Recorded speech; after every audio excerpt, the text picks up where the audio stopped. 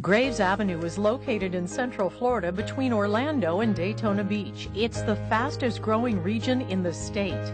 And the Graves Avenue Bridge crosses over Interstate 4 in an area that sees an average of 70,000 cars a day. The bridge was built in 1958 when this was the land of citrus. But the population explosion and subsequent widening of I 4 from four to six lanes in the area meant the old bridge had to go.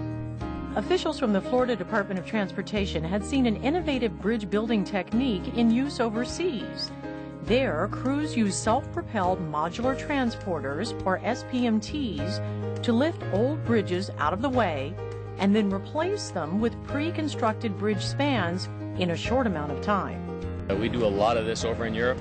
Um, in Europe, it's a, a definite need to do bridges quickly because when you tie up traffic, you literally uh, affect countries. We've done several presentations to various DOTs, and Florida was one of the first ones to say, yeah, this is a good idea. The Graves Avenue project is the first time SPMTs have been used in the construction of a bridge over an interstate highway in the United States. As work on the project began, the Graves Avenue Bridge was closed to traffic in December of last year, and crews began tearing away the outer spans. For several weeks, this is what drivers saw as they traveled underneath the old Graves Avenue Bridge simply perched atop its support piers. Then less than a month later, in early January, the SPMTs arrived in Florida and it was time to remove the old spans of the bridge. During rolling roadblocks on I-4, it took only about 20 minutes during the overnight hours of two non-consecutive nights to remove the spans. The wow factor of the project was not lost on the local media. Tonight, transportation workers are going to roll out an amazing piece of construction equipment that'll practically eliminate any traffic delays. It is an amazing feat. Demolition crews moved an entire bridge from over I-4 overnight. A massive lift removed the span over the westbound lanes, and because of that state-of-the-art equipment, lanes were only shut down for about 25 minutes. New from overnight, road construction crews have finished removing the second span of the Graves Avenue overpass on I-4 in Volusia County. A heavy lifting piece of machinery carried the overpass from its foundation to the side of the road.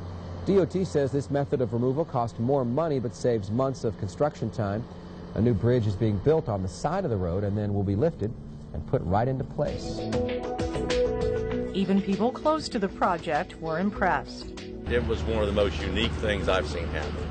But to see that bridge section at 260 tons lift so easily and walk away so smoothly, uh, it, it was impressive.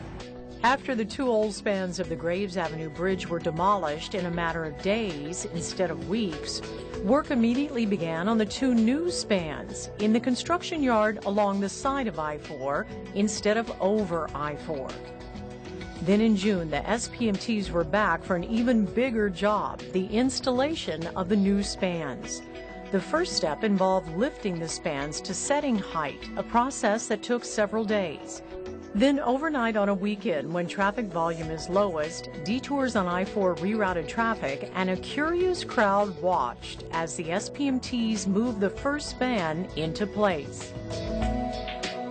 One week later, there was a different crowd.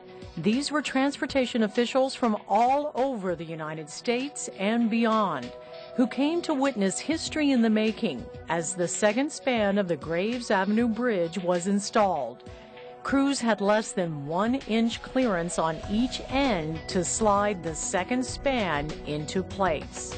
We're very excited to be here and we're really thankful that FDOT has allowed us to be here. I think it was really impressive. Everything went smoothly without a hitch.